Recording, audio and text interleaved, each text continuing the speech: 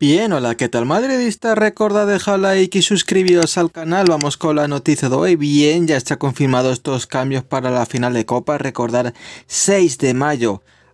Ojito, porque es a las 10 de la noche, no solo a las 9, son a las 10 de la noche. Este cambio será, me imagino, por el calor que pueda haber en Sevilla eh, ya en mayo, que empieza ya a hacer más calor, pues será por ese cambio, porque es tarde, 10 de la noche, es un poco horario veraniego de, de, los amistosos internacionales que suelen hacer de preparación, ¿no?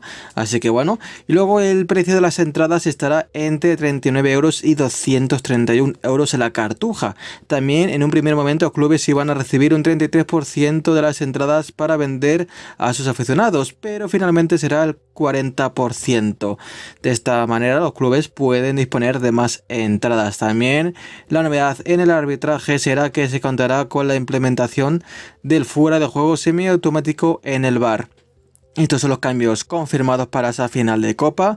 No sé si alguno de vosotros va a ir a ese partido. Bueno, recordar, 6 de mayo a las 10 de la noche en la Cartuja Sevilla y los precios de entrada serán entre 39 y 231 euros.